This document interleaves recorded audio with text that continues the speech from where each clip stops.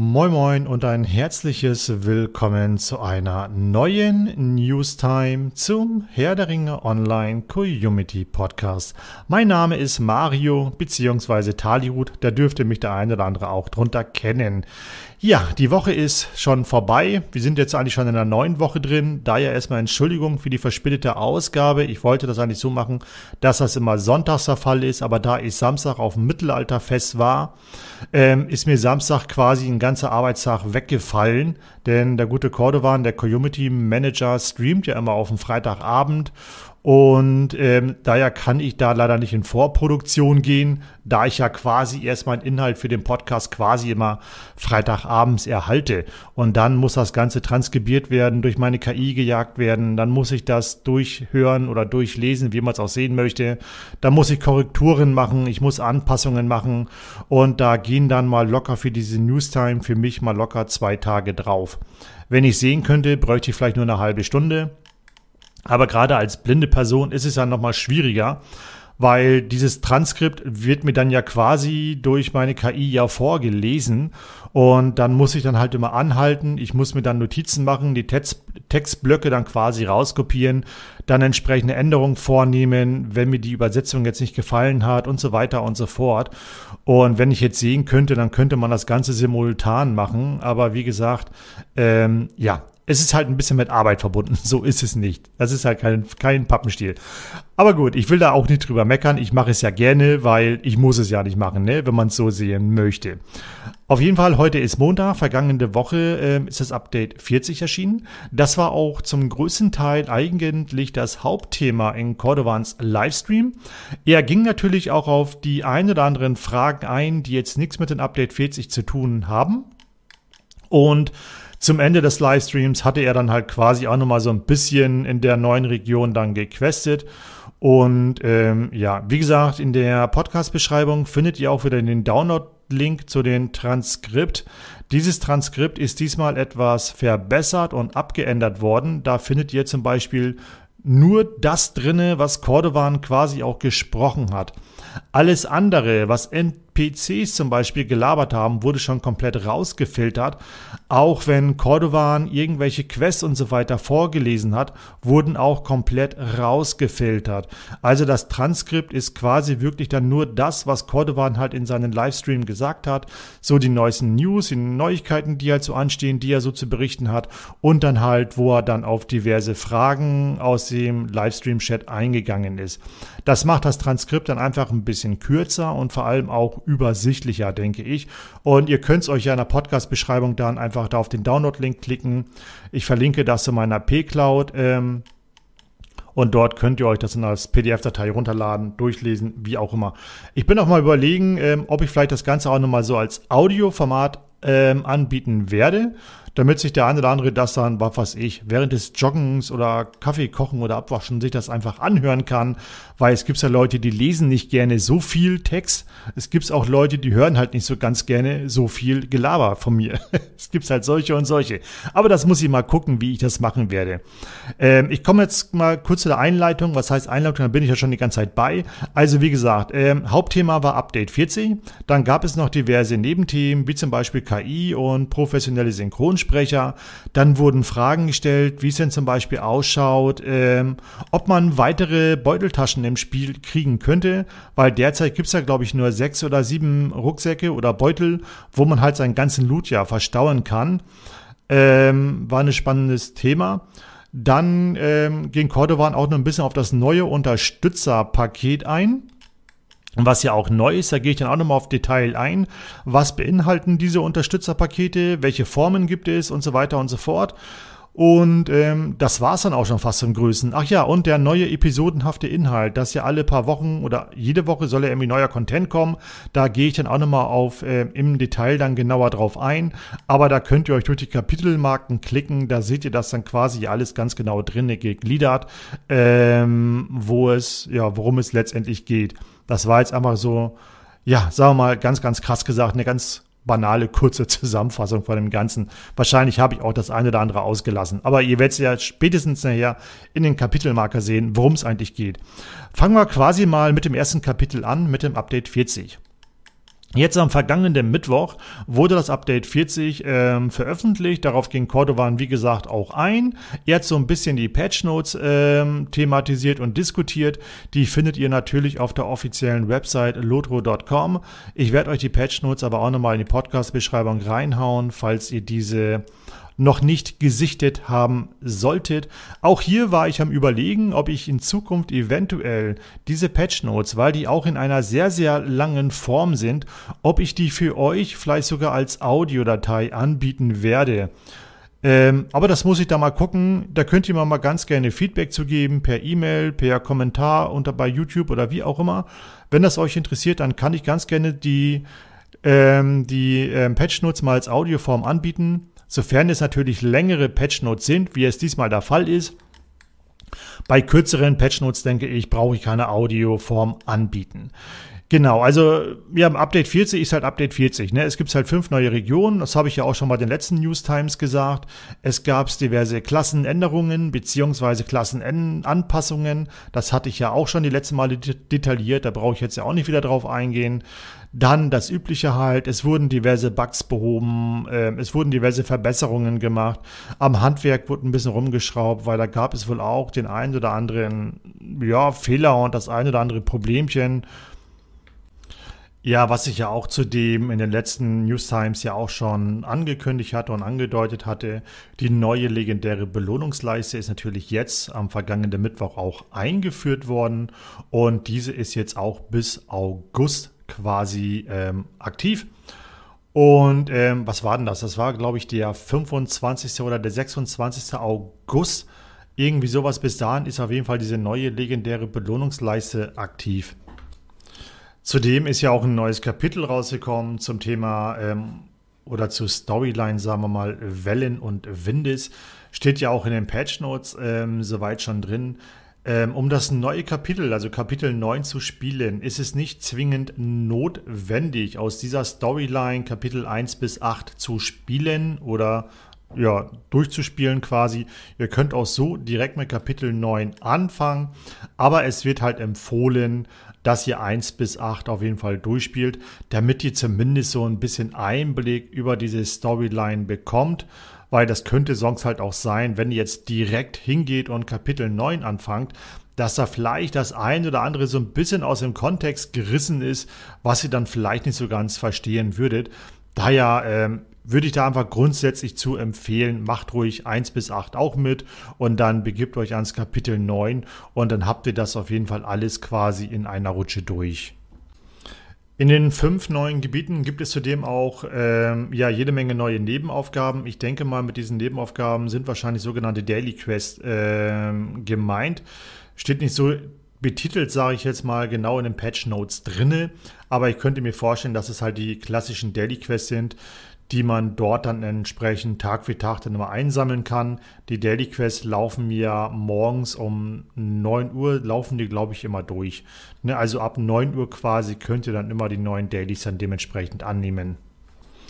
Dann sei natürlich auch, denke ich, noch besonders erwähnenswert, dass dieses neue Aufgabenpack im Untergrund kostenlos im HDAO-Shop ähm, kaufbar ist für VIP-Spieler. Alle anderen, die keinen VIP-Status haben, müssen dieses Aufgabenpack kaufen. Bitte fragt mich jetzt nicht, was das kostet. Ich habe keine Ahnung. Ich kann leider nicht nachsehen. Ich bin leider blind. Kommen wir wieder zu diesem äh, blöden Thema. Aber nun ja, das ist dann halt so. Aber wie gesagt, VIP-Spieler können das auf jeden Fall kostenlos im Shop halt erwerben. Und äh, dann könnt ihr dann quasi diese Aufgaben da entsprechend alle annehmen. Ähm, schau gerade mal. Genau, im Untergrund nennt sich da und ja. Dann wird auch halt geschrieben, dass es halt sämtliche Aufgaben beinhaltet, äh, beinhaltet von Umba, genauso wie äh, die Storyline. Und vor allem, ihr braucht dafür nicht die Erweiterung irgendwie besitzen, weil ihr könnt diese quasi dann so direkt, wie sie dort im Shop angeboten wird, kaufen und dann auch letztendlich direkt starten. Sei auch noch erwähnt, dass das Ganze natürlich ab Level 150 ist. Ne? Des Weiteren wird ja auch, ähm, steht ja auch in den Patch Notes drin, dass ähm, ab dem 22. Mai, in den Patch Notes steht da drin ab 16 Uhr. Da, ja, das wird glaube ich nicht so ganz klappen. Denn diese neue, ich sage jetzt mal, der neue episodenhafte Inhalt, der wird dann quasi jeden Mittwoch veröffentlicht ab 16 Uhr, so steht es in den Patch Notes, aber ihr wisst selber, Mittwoch sind generell immer Wartungsarbeiten. Daher kann das auch mal sein, ne, wisst ihr selber, dass es mal ein bisschen länger dauert. Weil wenn die Server erst um 19 Uhr wieder zum Beispiel online sind, dann könnt ihr auch erst ab 19 Uhr rein und dann quasi auch erst dann diese neuen wöchentlichen Content quasi ähm, ja, bespielen. Und ähm, ja, weitere Details werde ich dann dazu nachher liefern, wenn ich da speziell dann drauf eingehe. Hinzu kommen natürlich auch diverse ähm, Bugfix-Behebungen für das Förster-Event oder Holzfäller-Event, wie man das auch immer nennen möchte. Zum Beispiel, was das Baumstammtragen angeht. Zu dem Holzfäller-Event, da komme ich ja auch nochmal später drauf zu sprechen, da das im Juni, glaube ich, wiederkommen soll. Und ähm, ja, ich würde sagen, das war es dann, glaube ich, auch im Groben gesagt zu den ja, sagen wir mal, nennenswerten Inhalten zum Thema Update 40. Wie gesagt, ihr könnt im Prinzip das, was ich euch gerade alles erzählt habe und auch mehr, könnt ihr in den offiziellen Patch Notes finden. Verlinkt sind diese in der Podcast-Beschreibung. Schaut das euch da ja am besten einfach mal an. Kommen wir nun zum zweiten Kapitel, die Truhe des wunderlichen Gast, eines der neuen Unterstützerpakete, die ihr im Spiel kaufen könnt. Diese Truhe könnt ihr nur in-game kaufen, wenn ihr eingeloggt seid auf einen Charakter eurer Wahl. Das heißt, ihr könnt das jetzt nicht kaufen, wenn ihr euch zum Beispiel im Anmeldebildschirm befindet, sondern ihr müsst euch schon richtig auf einen Charakter eingeloggt haben. Dann könnt ihr euch so eine Truhe kaufen. Diese Truhe gibt es in diversen Ausführungen die ich dann jetzt quasi mal kurz so ein bisschen durchgehe und wo ich euch erläutern werde, was ist da eigentlich konkret in diesen Truhen enthalten. Kommen wir daher nun zu der allerersten Truhe, zum Beispiel der luxuriösen Truhe des wunderlichten Gastes. So, diese Truhe beinhaltet zum Beispiel folgenden Inhalt. Und zwar beinhaltet das Ganze 500 Mithril-Münzen, Vier geringere Elixiere für Tugend-EP. Das bedeutet, ihr bekommt dann nochmal quasi 4 mal 2500 Tugend-EP, also quasi insgesamt 10.000 Tugend-EP, die ihr entsprechend verteilen könnt. Diese beiden Sachen sind einmal pro Konto. Das bedeutet, ähm, ja, dass ihr das nur einmal pro Konto quasi einlösen könnt und es wird auch nur einmal pro Konto an den Charakter dann ausgeliefert. Kommen wir nun zu Gegenständen, die einmal pro Charakter gebunden sind. Das heißt, es ist nicht kontogebunden, sondern hier jetzt speziell eher charaktergebunden und das sind Gegenstände, die ihr dann quasi mit jedem Charakter einlösen könnt. Und zwar sind das diverse Titel, zum Beispiel Titel der die, der Wunderliche, der die, der Fröhliche und noch ein Titel Donglong Donglong oder wie man das Ganze nennen möchte. Des Weiteren befindet sich in dieser Truhe eine weitere Truhe und das ist die luxuriöse Zierwerktruhe. Ich kann dieses Wort nicht richtig aussprechen, ne? da kommen wir wieder zu meiner Sprachbarriere, dass ich das habe so mit manchen Wörtern, dass mir die nicht so richtig über meine Zunge gleiten wollen. Mir sei es dann bitte verziehen. Und zwar beinhaltet dieses Zierwerk einen Rucksack des Wunderlichen, dann diverse Stiefel, dann einen Panzer, Handschuhe, und so weiter und so fort. Also quasi ein komplettes, sagen wir mal, Equipment, um euren Charakter halt schick aussehen zu lassen. Zudem erhaltet ihr damit ein wunderliches Ross und ein ähm, Zierwerk für, ähm, ja, wie heißen die nochmal? Kampfpferde nicht, ähm, für die Pferde halt. Ihr wisst schon, was ich meine. Für das Kriegsross, genau so war das. ein ähm, Zierwerk fürs Kriegsross und weiteres Zubehör. Dann erhaltet ihr zudem auch ähm, Zielwerk für eine wunderliche Waffenaura. Ähm, da kann ich jetzt so nicht genau sagen, was damit speziell gemeint ist. Dann bekommt ihr einen wunderlichen Cerio, oh Gott, das ist auch wieder so ein Wort, Cereomonienstab oder irgendwie sowas, entschuldigt bitte. Ähm, was haben wir denn dann noch? Das gleiche mit diesem Z-Wort und dann nochmal als Keule, also diesen Ceri, ich, ich lasse es lieber, das wird nichts. Auf jeden Fall einmal diese Keule und dann halt diesen Stab. Ich werde euch aber auch nochmal in die Podcast-Beschreibung einen Link reinsetzen, wo ihr euch das selber nochmal durchlesen könnt. Ist dann, glaube ich, ein bisschen deutlicher, als wenn ich hier mit meiner behinderten Sprachbarriere da solche Zungenbrecher ausspucken muss, was nicht immer ganz klappt. Ähm, dann haben wir da drinnen auch noch eine Schrift der wunderlichen Waldtiere. Dann haben wir ein Emote, ähm, wunderlicher Markstein, irgendwie was mit Marksteinverzögerungen. Und dann sind da noch die ein oder anderen Emotes auch noch mit bei enthalten. Kommen wir nun zu den etwas kleineren Pardon und das ist die verbesserte Truhe des wunderlichen Gast. Lass uns mal schauen, was wir dort alles so haben. Fangen wir mit Gegenständen an, die nur einmal pro Konto quasi dann einlösbar sind. So, da drin haben wir schon mal 250 Mithrilmünzen und einmal ein geringeres Elixier für Tugend äh, EP. Das bedeutet einmal 2500 Tugenderfahrungspunkte. Kommen wir nun zu Gegenständen, die einmal pro Charakter gebunden sind. Das sind wieder wie bei der luxuriösen Truhe auch, die, ein paar Titel sind da mit bei. Dann kommen wir jetzt quasi wieder zu einer kleineren Zielwerkkiste, die da auch mit bei ist. Und zwar haben wir da den Rucksack drin des Wunderlichen und dann eine Waffenaura des Wunderlichen Bündels. Dann ist da auch da wieder diese, diese Z-Keule drin. Ich besage das einfach mal mit Z, das ist ein bisschen einfacher, als wenn ich das Wort aussprechen muss. Und dann sind da ein paar Emotes mit bei. Und das war's dann schon von dieser verbesserten Truhe des wunderlichen Gast. Kommen wir nun zu der dritten Truhe. Wie hieß sie nochmal? Genau, das ist die einfachste, die einfache Truhe des wunderlichen Gast. Schauen wir uns mal an, was wir dort alles so drin haben. Fangen wir wie üblich mit den Gegenständen an, die kontogebunden sind. Und zwar in der, in der ganz, ganz billigen Variante habt ihr denn, was war das nochmal? Genau, 100 Mithrilmünzen sind da drin. Und ähm, das war's dann auch schon. Dann kommen wir jetzt zu Gegenständen, die dann einmal pro Charakter gebunden sind, beziehungsweise dann ausgeliefert werden. Ihr erhaltet einen Titel, der, die, das, der wunderliche eine wunderliche Zeremonienkeule, jetzt habe ich das Wort doch wieder ausgesprochen. Und ihr bekommt dazu einen Emote, wunderlicher Bewegungsstil, irgendwie laufen und springen. Und das waren dann auch schon quasi alle Truhen beziehungsweise alle Kisten, die ihr damit erhalten könnt. Also quasi in drei Ausführungen. Eine luxuriöse Truhe, wo richtig viel Bums drin ist. Dann eine verbesserte Truhe, also so ein mittleres, mittleres Ding. Und dann ein ganz einfaches Ding, die äh, einfache Truhe. Ne, wie gesagt, in diesen jeweiligen drei Truhen habt ihr verschiedene Anzahl von Mithrilmünzen, verschiedene Anzahl von Tugend-EP, dann äh, Zierwerkkiste, ein paar Emotes und so weiter und so fort. Ähm, wie gesagt, den Link dazu stelle ich euch natürlich auch in die Podcast-Beschreibung rein. Dann könnt ihr euch das da nochmal genau durchschauen. Ähm, vielleicht sind da auch noch ein paar Bilder bei, das kann ich jetzt so nicht sagen, weil, ne, ihr wisst ja, ich bin ja blind.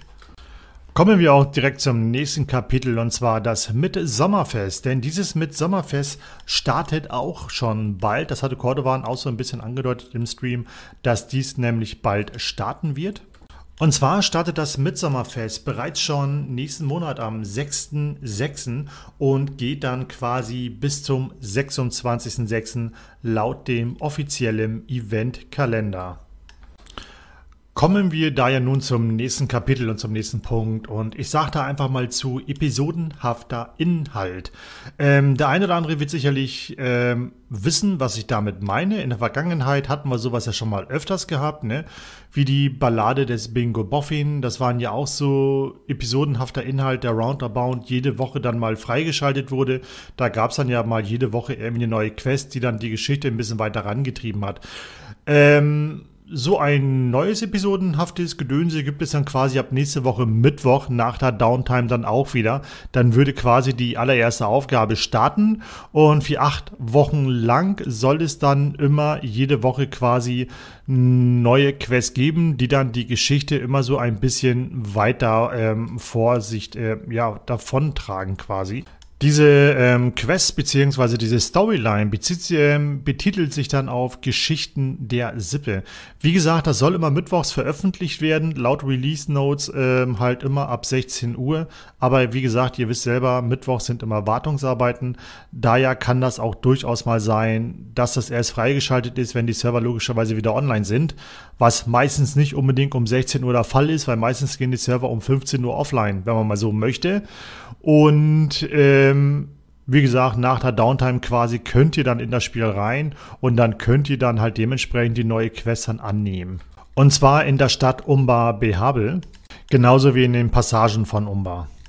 Diese Quests werden dann quasi jede Woche ähm, von einem Mitglied der Sippe dann verfügbar gemacht, wobei sich das dann natürlich immer random wechselt. Es wird dann immer mal ein anderer NPC dann irgendwie auftauchen, der für euch dann quasi eine neue Quest dann anbieten wird. Anfangen wird das Ganze bei Coltec, dem Listigen, auf seinem Podest. Und zwar in der Versammlung, Versammlungshalle von Umba. Da sollte der sich, glaube ich, ähm, aufhalten. Im oberen Bezirk. Es wird dann nochmal speziell betitelt, dass hier nicht die Kapitel ähm, ähm, von der Geschichte des Lied der Wellen und Windes spielen müsst, um diesen episodenhaften Inhalt irgendwie anzunehmen. Es wird zwar empfohlen, dass ihr das machen solltet, aber es ist keine Voraussetzung, dass ihr quasi diese Aufgaben dafür erhaltet. Zudem sagte der Community Manager Cordovan, dass er eine Social Media Kampagne dafür starten wird, wo man dann quasi auch wöchentlich dann eine Übersicht bekommen wird, ähm, wo wer welche Quest anbietet. Ich werde euch diesbezüglich da natürlich auch auf dem Laufenden halten, damit ihr da dementsprechend Bescheid wisst, wo es immer eine neue Quest gibt, sei es auf meinen Social Media Kanälen wie Facebook, wie äh, Twitter und Co. Aber spätestens ansonsten auch jede Woche Sonntag in der neuen Newstime Ausgabe werde ich euch dann auch berichten, wo ihr dann die neue Quest auf jeden Fall annehmen könnt. Cordovan erwähnte auch, das Ganze soll auch als einzelner Artikel im Launcher erscheinen, was diese Übersicht der Listen angeht. Ähm, da sei jetzt halt hingestellt, ob das jetzt auch für den deutschen Launcher gilt, weil meistens steht im englischen Launcher doch mehr an irgendwelchen Neuigkeiten und Informationen als im deutschen Launcher. Aber wie gesagt, wenn ich was mitkriege, werde ich es euch natürlich wie immer wissen lassen. Cordovan sagt zum Beispiel, in der ersten und zweiten Woche ist die Coltec-Woche. Die dritte bis vierte Woche, sagte Cordovan, ist es dann letztendlich eine andere Sippe. Und so zieht sich das dann weiter nach hinten halt. Ne? Das ist dann halt letztendlich immer eine andere.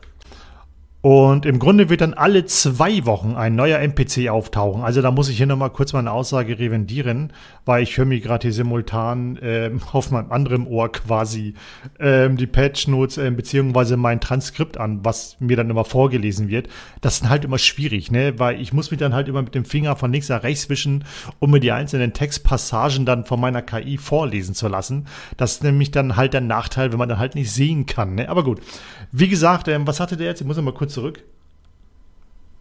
Äh, genau, also alle zwei Wochen wird ein neuer NPC dann auftauchen, der euch dann auf jeden Fall ähm, ja, eine neue Aufgabe anbieten wird. Und Cordovan sagt zudem, dass jeder NPC dann wirklich zwei Teile hat. Was damit jetzt konkret gemeint ist, weiß ich nicht. Ob das jetzt sich um irgendwie um zwei Aufgaben handelt oder zwei getrennte Storylines, das werdet ihr dann aber entsprechend sehen. Kommen wir nun zu neue Questaufgaben für etwas unter Stufe 150 Spieler. Und zwar soll es wohl fünf neue Fest, äh, Fest sag ich schon, äh, fünf neue Quests in Lamgrion geben. Lamgrion, wenn ich das jetzt richtig ausgesprochen habe und das richtig verstanden habe. Denn so wie meine KI mir das vorliest, das hört sich manchmal auch mal komisch an und ich muss das dann irgendwie immer, ähm, ja, das dann irgendwie halt dann ja wörtlich übertragen. Aber ich hoffe, man, ihr wisst, was ich damit meine. Also es soll auf jeden Fall fünf neue Quests geben in Lamgrion oder irgendwie so ähnlich halt. Und zwar könnt ihr diese Aufgaben von Ledil, wenn ich das jetzt richtig verstanden habe, im, im oberen Genau, im oberen Langrion erhalten. Aber so wie auch von anderen innerhalb dieser Stadt. Also andere NPCs und so, ne? Kommen wir nur zum Thema das Holzfäller-Event oder auch meinetwegen das Förster-Ereignis.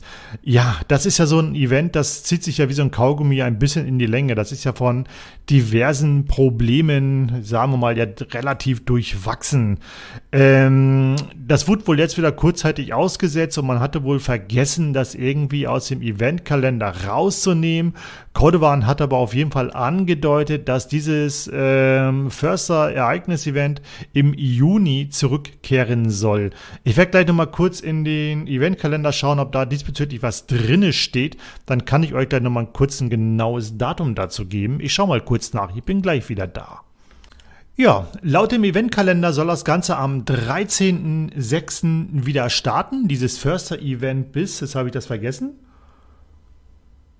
Bis zum 23.06. soll das dann laufen. Das neue, oder das, na, so neu ist es ja nicht. Das Förster-Event im Schlucht beim ähm, Holzfäller Lager oder Holzfäller Dorf. Also da in Schlucht. Ihr wisst schon, was ich meine. Da bei dieser Brücke halt, ne? Da in Schlucht halt. Cordovan wies ja nochmal darauf hin, dass dieser Termin für das Förster-Event, was jetzt derzeit im Eventkalender steht, wohl auch so fix fest sein sollte, seines Wissens nach. Sollte sich dieser Termin jedoch aus welchen Gründen erneut wieder ändern, wird Cordovan es uns wissen lassen, weil dann bekommt er wohl von dem anderen ähm, Community Manager will ich jetzt nicht sagen, aber auf jeden Fall von dem anderen Mitarbeiter oder Kollegen, sagen wir das mal so, Arbeitskollegen Orion, wird er dann sicherlich eine Information erhalten, dass dann das Event, warum auch immer, vielleicht wieder verschoben wird.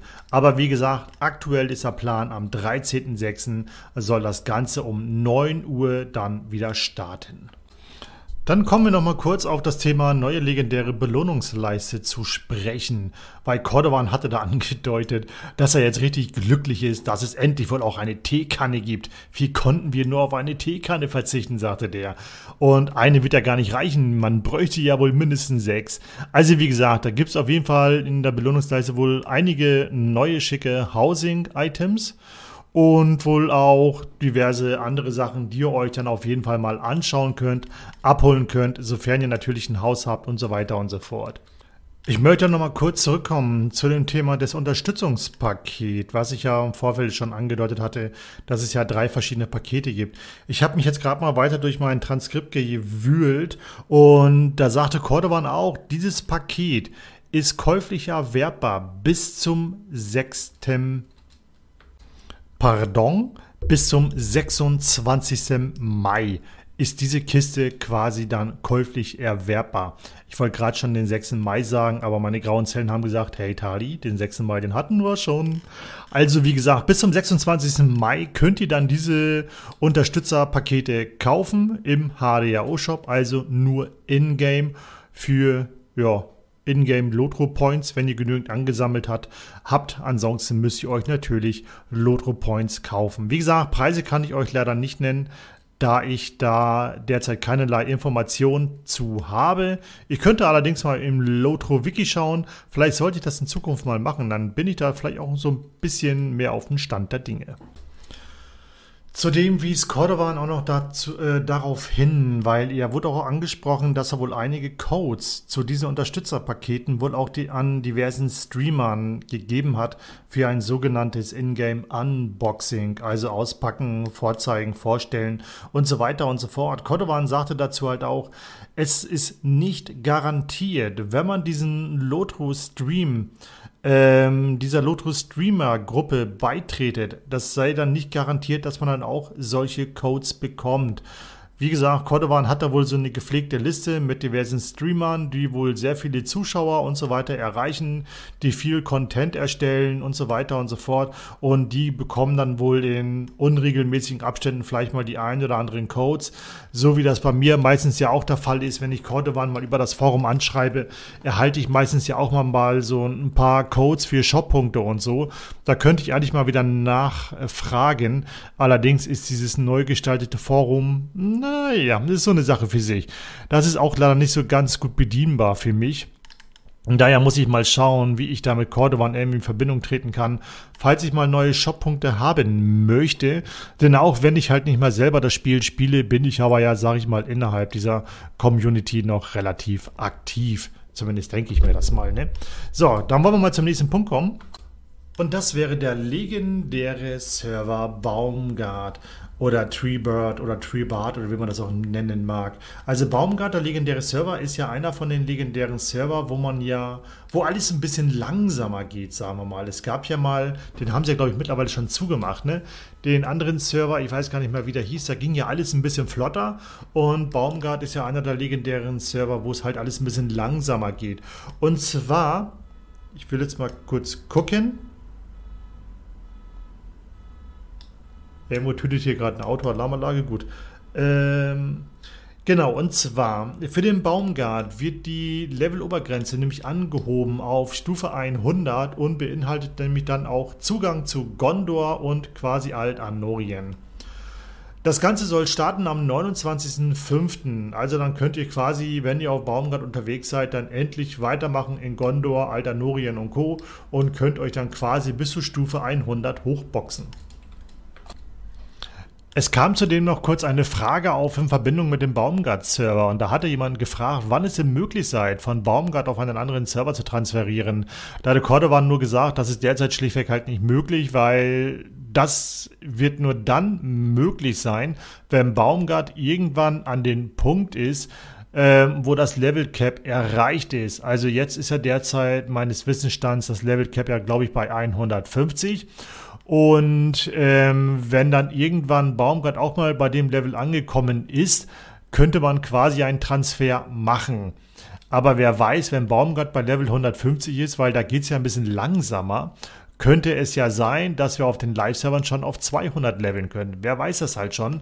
Fakt ist auf jeden Fall, ein Transfer wird erst dann möglich sein, wenn man letztendlich wirklich am kompletten Endcontent dann angekommen ist. Kommen wir zum nächsten Punkt und das wäre nochmal der angekündigte Film von Peter Jackson mit der Gollum-Verfilmung. Da wurde auch gefragt, ob Standing Stone Games es plane, äh, mit Gollum und in Düsterwald vielleicht diverse Geschichten in das Spiel zu integrieren oder implementieren. Da wurde ähm, Cordovan halt drauf gefragt und Cordovan sagt halt, die haben sich das ein bisschen angeschaut, die verfolgen das auch unter anderem mit Spannung und werden dann schauen, was sie da gegebenenfalls machen können. Aber wie gesagt, soll das Ganze halt keine Garantie sein. Wie gesagt, die Entwickler kennen das Ganze, ne? Die werden sich die Geschichten sicherlich auch anschauen, die werden das auch weiterhin verfolgen. Und ähm, dann hängt es halt in den Köpfen der Kreativen, ob die da irgendwie was machen können, eine Geschichte zu Gollum und in Düsterwald, ob sie da irgendwie was in das Spiel mit integrieren werden. Versprechen kann Cordovan da diesbezüglich sowieso nichts. Aber wie gesagt, Standing Stone Games hat das ähm, im Auge und was sie dann machen, da kann man sich dann letztendlich halt nur überraschen lassen, ob es vielleicht nochmal eine Fortsetzung da irgendwo mit dem Düsterwald geben wird. So, kommen wir zum nächsten Kapitel. Und zwar können wir weitere Taschen beziehungsweise weitere Beutel im Spiel erhalten. Das wurde von einem Spieler an Cordovan gefragt. Derzeit gibt es ja Tasche 1, 2, 3, 4, 5, 6. Man kann die entweder als einzelne Taschen ja quasi im Spiel aufmachen oder man kann sich die quasi zu einer kompletten Tasche ja zusammen modellieren, wie man es ja möchte. Diese Gitterraster sind da ja heutzutage sehr, sehr frei verschiebbar. Cordovan hat gesagt, ähm, ja, das ist, wäre eine gute Idee, aber derzeit ist es schlichtweg nicht möglich, weil man müsste die UI, also die Benutzeroberfläche, anpassen. Weil ich kann mich ja noch gut erinnern, aber ihr werdet es ja auch sehen, unten rechts habt ihr ja quasi diese, also auf den ganz normalen Standardgrafik. Ne? Es gibt ja auch Leute, die nutzen diverse Plugins oder Add-ons und haben vielleicht ein anderes Aussehen in Lotro. Aber ihr habt ja unten quasi diese Rucksäcke auf der rechten äh, Skillleiste oder unterhalb der rechten, im rechten Bereich da ist ja ein Rucksack, zwei Rucksäcke, drei, vier, fünf, sechs, wo man da überall einzeln draufklicken kann quasi, um halt jeden einzelnen Rucksack dann quasi zu öffnen, um zu gucken, was da drinne ist. Würden jetzt weitere Rucksäcke hinzukommen, würde quasi schlichtweg dort die ähm, Platzhalter fehlen, um sowas aufzumachen. Also hier müsste man dann quasi ähm, das komplette UI, die Benutzeroberfläche bearbeiten, wo man meinetwegen nur ein Rucksack-Badget draufknallt, also ein so ein Icon für das Rucksack, wo man dann den ganzen Rucksack mit öffnen könnte, wo man sich dann halt raus bedienen kann. Ich könnte mir vorstellen, dass es in Zukunft vielleicht sowas gibt, dass man eventuell mit Mithrilmünzen sich weitere Slots für seinen Rucksack dazu kaufen könnte. Wäre eine Möglichkeit. Entweder mit Mithrilmünzen oder meinetwegen mit ähm, mit Lotro-Punkten, dass man sich das kaufen kann. Dass man gesagt, okay, für fünf Mithrilmünzen kriegst du meinetwegen fünf weitere Felder in deinem Rucksack. Für fünf weitere kriegst du wieder fünf weitere Felder für deinen Rucksack. Also das ist ein Ding, das könnte ich mir gut vorstellen, dass Standing Stone Games das irgendwann implementieren würde. Denn in Sachen Mikrotransaktionen, da entwickeln die ja auch immer mehr und mehr. Und der HDAO-Shop scheint bei denen generell sehr gut zu laufen. Auch was das ganze Zielwerk Gedönse und sowas angeht. Ich muss sagen, zu meiner Spielzeit war ich nie der fleißige äh, Käufer im HDAO-Shop. Ich habe mir vielleicht mal diverse Mithril-Münzen gekauft, falls ich mal diverse schnelle Reisen machen wollte. Aber das war es dann letztendlich auch schon. Aber wie gesagt, ähm, Cordovan sagte, derzeit ähm, ist zumindest nichts in Planung diesbezüglich, weil man halt dieses UI anpassen müsste. Es wird wohl schon gewerkelt an einem neuen UI, aber auf viel mehr wollte Cordovan da letztendlich nicht eingehen. Wie gesagt, von meiner Seite sind das nur reine Spekulationen, was das angeht, mit Mithrilmünzen und weiteren ähm, Slots in den Rucksack, weil ich denke mir, das könnte ich mir halt sehr, sehr gut vorstellen, dass sowas vielleicht irgendwann kommen wird. Kommen wir nun zum nächsten Punkt zu sprechen. Das wäre Thema KI und professionelle Synchronsprecher, sogenanntes Voice-Over im Spiel wenn jetzt NPCs längere Dialoge halten, das sind halt alles solche kleinen Voice-Overs, die dann von professionellen Synchronsprechern aufgesprochen werden. Oder meinetwegen, wenn auch mal Videosequenzen kommen, wird das auch mit Synchronsprechern gemacht. Weil da hatte jemand gefragt, ähm, ob Standing Stone Games plane, ähm, das auf KI-Basis zu machen. Weil einerseits wäre das ja vielleicht günstiger. Heutzutage gibt es KI-technisch wirklich, wirklich viele geile Stimmen. Ich befasse mich ja derzeit auch sehr, sehr viel mit KI, weil ich einfach für mich als blinde Person die Vorteile gesehen habe, dass mir gerade das mit der KI und gerade mit meiner Community-Arbeit für Herr der Ringe nimmt es mir sehr, sehr viel Arbeit ab. Mhm. Und das finde ich halt sehr, sehr gut. Und ähm, aber Cordovan sagte halt auch, nee, ähm, wir werden wohl bei professionellen Synchronsprechern bleiben, weil da halt einfach ganz gerne oder die wollen halt einfach ganz gerne diese weiterhin unterstützen und auch diese professionellen Synchronsprecher bezahlen. Denn ähm, gerade durch die KI wird das dann sowieso immer für solche Leute schwieriger, ähm, da vielleicht was Gescheites an Aufträgen zu kriegen. Vor allem sagte Cordovan auch selber, dass er erst vor kurzem Opfer geworden ist eines sogenannten KI-Trollings. Das bedeutet, dass jemand ähm, Cordovans Stimme genommen hatte, hat damit eine KI trainiert und dann hat er dann mit Hilfe dieser KI irgendwie was generiert, was dann Cordovan angeblich gesprochen gesprochen hatte, was er aber wirklich nie gesprochen hatte. Aber es hörte sich halt wirklich eins zu eins an wie Cordovan. Und sowas kann man halt aufgrund der KI heutzutage halt auch machen, dass man diverse Stimmen da schon nachahmen kann und fälschen kann. Das ist halt ähm, alles KI-Technologie in dem Sinne. Ähm, aber wie gesagt, Cordovan sagte, das kommt für Standing Stone Games auf jeden Fall nicht in den Plan, dass die ähm, KI-basierte ja, Stimmen verwenden werden, weil, wie gesagt, die möchten dann doch schon ganz gerne ähm, weiterhin bei professionellen Synchronsprechern bleiben, was ich auch absolut verstehen kann. Ähm, da wäre ich auch absolut für. Und das, wie gesagt, ich kann es wirklich sehr, sehr gut nachvollziehen. Kommen wir zum weiteren Punkt und das wäre der gute alte Kleiderschrank. Da wurde zum Beispiel eine Frage gestellt, ob Standing Stone Games es zum Beispiel planen würde, dass man auf Tastendruck zum Beispiel seinen kompletten Kleiderschrank löschen bzw. leeren könnte. Da sagte Cordovan auch nur um Gottes Willen, das werden wir mit Sicherheit nicht machen, denn ähm, stell dir mal vor, jemand macht das versehentlich, auch wenn man das vielleicht nochmal extra bestätigen muss, aber das würde höchstwahrscheinlich zu so viel ähm, Support-Ticket-Anfragen führen, weil die Leute da irgendwie was versehentlich deletet haben, den ganzen Kleiderschrank oder was auch immer. Und daher sagte der, würden die wahrscheinlich gar nicht auf diese Idee kommen, den Kleiderschrank mit einer einzigen Taste komplett zu löschen oder zu leeren weil damit wäre quasi im Prinzip schon ja wieder mehr Arbeit verbunden aufgrund von erhöhtes Ticketaufkommen. Kommen wir nun auch schon zu den abschließenden Worten, denn das war dann quasi das Transkript von Cordovan beziehungsweise der Inhalt seines Livestreams. Er hatte sich dann letztendlich verabschiedet mit weiteren Informationen zum nächsten Livestream, wo er dann wohl endlich mal diesen geplanten Raid angehen möchte, den er wohl geplant hatte. Da müssen wir dann mal gucken, ob wir da gegebenenfalls irgendwelche neuen Informationen erhalten werden. Ich gehe mal davon aus, das wird wahrscheinlich ziemlich rar werden, aber mal gucken, was da alles so kommt dann kann man sich da überraschen lassen. Das war es auf jeden Fall zu dieser Newstime-Ausgabe für diesen Pfingstmontag, sag ich mal. Ne, wir haben ja keinen Sonntag, heute ist ja schon Pfingstmontag. Und dann würden wir uns dann auf jeden Fall mit einer weiteren Newstime-Ausgabe schon ja in dieser Woche wieder hören am Sonntag. Das sollte dann auf jeden Fall wieder Sonntag auf jeden Fall rausgehen. Solltet ihr Fragen haben, Informationen wünschen oder was auch immer, ihr dürft mir jederzeit liebend gerne eine E-Mail schreiben an admin at reiter-von-rohan.com oder meinetwegen auch an info at talirut.de. Das sind so zwei Mailadressen. An diese Mailadressen dürft ihr auch ganz gerne jederzeit ein kleines Trinkgeld via PayPal senden. Das geht natürlich auch alles.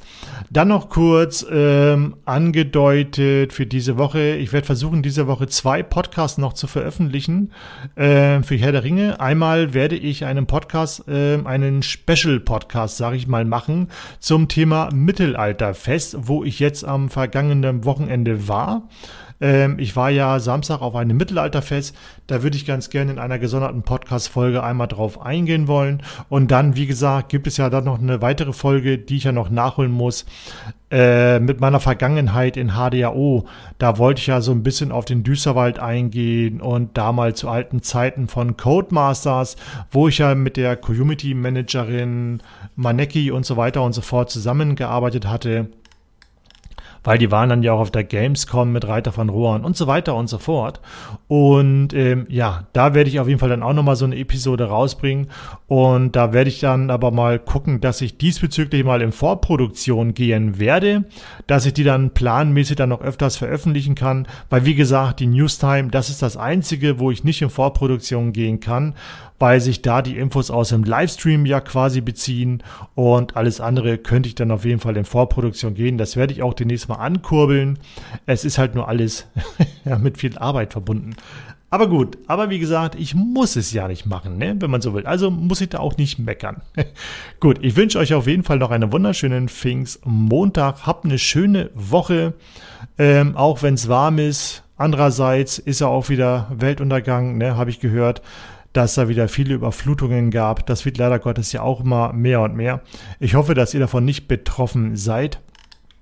Und ähm, ja, wir hören uns dann auf jeden Fall in einer weiteren Ausgabe demnächst wieder. Ne? Bis dahin, ganz viele liebe Grüße.